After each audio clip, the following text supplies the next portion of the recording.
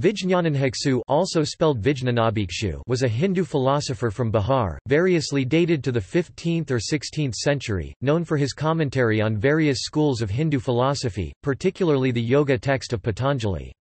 His scholarship stated that there is a unity between Vedanta, Yoga, and Samkhya philosophies, and he is considered a significant influence on Neo-Advaita movement of the modern era.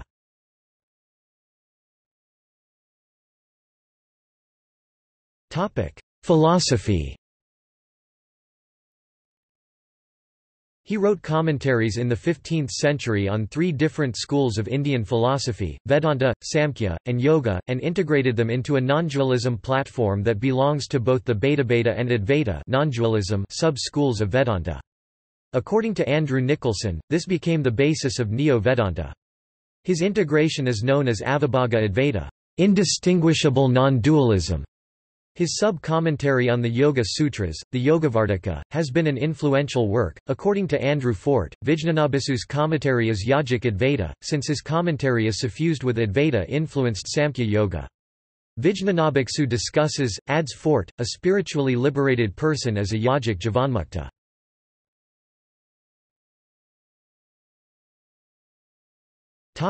Influence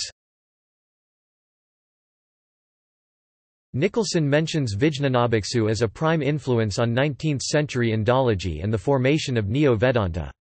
According to Nicholson, already between the 12th and the 16th century, certain thinkers began to treat as a single whole the diverse philosophical teachings of the Upanishads, epics, Puranas, and the schools known retrospectively as the Six Systems saddarsana of mainstream Hindu philosophy. The tendency of a blurring of philosophical distinctions has also been noted by Burley. Lorenzen locates the origins of a distinct Hindu identity in the interaction between Muslims and Hindus, and a process of mutual self-definition with a contrasting Muslim other, which started well before 1800. Both the Indian and the European thinkers who developed the term Hinduism in the 19th century were influenced by these philosophers.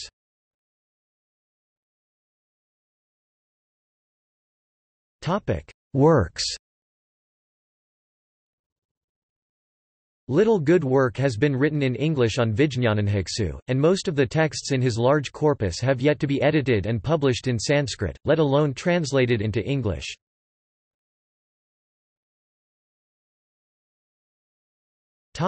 Major works Some major texts attributed to Vijñanabhiksu include Vijñanamritabhashya, the Nectar of Knowledge Commentary, commentary on Badarayana's Brahma Sutras, Ishvaragitabhashya, commentary on the Ishvara Gita, Sankhyasaara, quintessence of the Sankhya, Sankhyasutrabhashya, commentary on the Sankhya Sutras of Kapila, Yogasarasamgraha, compendium on the quintessence of yoga, Yogabhashyavartika, Explanation of the commentary on the Yoga Sutras of Vyasa.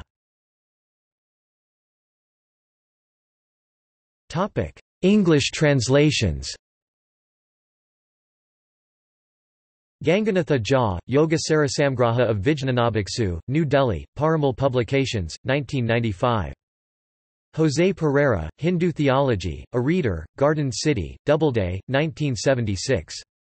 Includes translated excerpts from Vijnanamritabhashya and Sankhyasutrabhashya.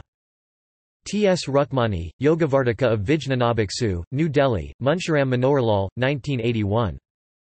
Nandalal Sinha, The Samkhya Philosophy, New Delhi, Oriental Books Reprint Corporation, 1979.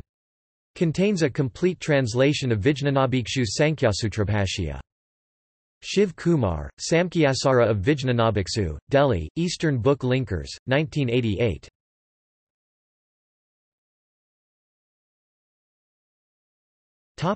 See also Unifying Hinduism book